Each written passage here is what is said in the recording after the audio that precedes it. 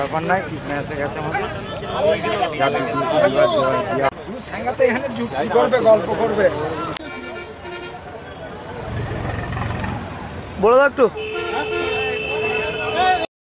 এখানে হয়েছে আজকে মঙ্গলবার গরুর হাট। আর ব্যাপারটা হচ্ছে ছোট গাড়িটা সাইডে দাঁড়িয়ে ছিল গরু লোড করব বলে।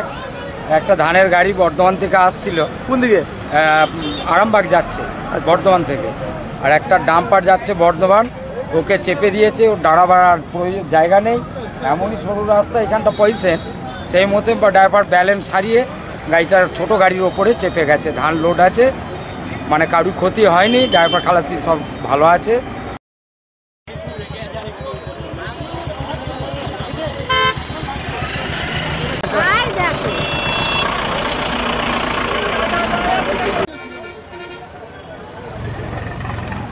বলে দাও একটু।